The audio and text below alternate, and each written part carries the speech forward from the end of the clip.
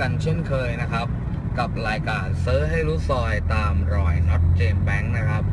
วันนี้ก็มีน้องนะครับโทรมาให้ไปดูพระนะครับผมให้ไปซื้อพระนะครับ ที่เขาช่องพลานนะครับ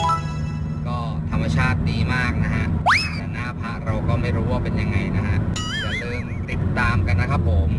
ติดตามได้ที่นะฮะ YouTube สันขวานนะครับ เพจพระเครื่องสันขวานนะครับ ทุกๆวันพฤหัสศุกร์นะครับ 17 นาฬิกาเป็นต้นไปนะครับ พร้อมแจกรางวัลนะฮะ เป็นพระเครื่องมากมายครับ พระที่เราซื้อได้เนี่ยก็จะเอามาประมูลนะครับ ในราคาที่ไม่มีราคาเริ่มต้น คือเริ่มต้นจากศูนย์บาทนะครับ เป็นศรัทธาของท่านนะครับผม ก็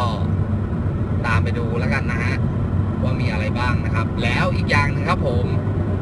ติดต่อผมได้นะครับที่เบอร์โทรนะครับ 092 ครับ 837 5218 นะครับ ส่งหน้าพระมาดูกันก่อนนะฮะถ้าเกิดว่า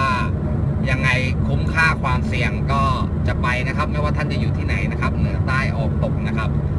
ก็ติดตามกันดูนะครับผมขอบคุณมากครับ ตามไปดูหน้าพระกันครับ ก็วันนี้ก็มาซื้อพระเครื่องนะครับที่เขาช่องพานนะครับ ผมก็ กับเจ้าของบ้านผู้ไม่ประสงค์ออกนามนะฮะครับผมก็ ดูจากหน้าพระนะฮะ ก็วันนี้ก็ไม่ค่อยมีอะไรนะครับ ก็จะเป็นย่อยๆ จะเป็นส่วนใหญ่นะฮะ ไม่มีอะไรเลย นอกจากหาโคราชหลวงพ่อคูณวัดบ้านไร่นะฮะพระใหม่ทั่วไปนะฮะแต่ว่าชอบชอบตรง ชอบตรงแฟ้มหนูแทะ คลาสสิกมากชอบครับ ใครมีแฟ้มหนูแทะแบบนี้นะฮะติดต่อเรามานะฮะ ที่เบอร์โทรศัพท์ 092 นะครับ 837 5218 นะครับ นี่ก็พระใหม่ก็มาแล้วไหนๆมาแล้วนะฮะ เอาคอนเทนต์สักหน่อยแล้วกันนะฮะ เจ้าของบ้านไม่พูดอะไรบ้างครับไม่มีอะไรพูด